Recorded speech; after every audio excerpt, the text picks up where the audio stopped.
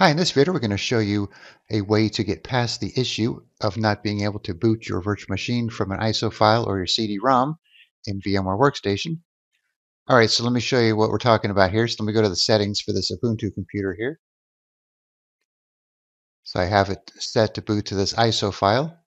So normally you would right click, power, power on to firmware,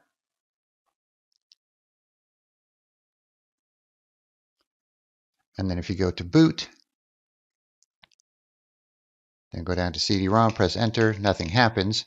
So what you would have to do is press the plus key to put it at the top of the list, and then you could go ahead and exit and save your changes.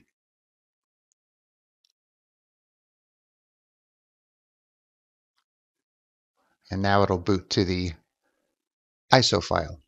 But then what you have to do after that is go back in, boot to the firmware, go back, change it back to the hard drive for the first boot device. So what you could do for just a one-time boot from ISO file option is to change something in the settings here. So let me just turn this off.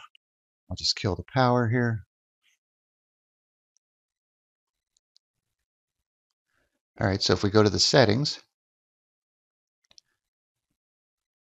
go to options and advanced, and if we change this to UEFI and then click OK, so one thing I will note though, is this warning right here.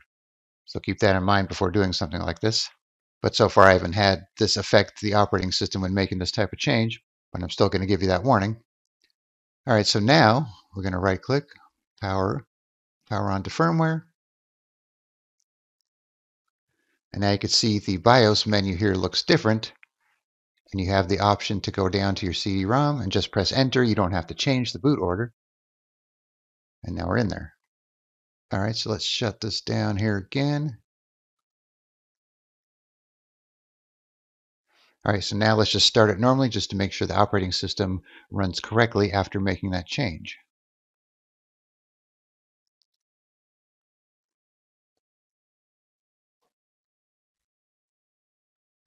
All right, looks like it's starting up fine. All right, so we're in. All right, so once again, just go to the settings, options, advanced, change the firmware type from BIOS to UEFI, and then you'll have that different setup menu where you can do a one-time boot to your ISO file or CD-ROM without having to change the boot order. And this tends to happen more with Linux VMs uh, when you're using you know, Windows 11, for example, it'll be using UEFI to begin with, so you won't have that problem. It's just with older operating systems or Linux, tends to use the BIOS rather than UEFI. All right, thanks for watching and be sure to subscribe.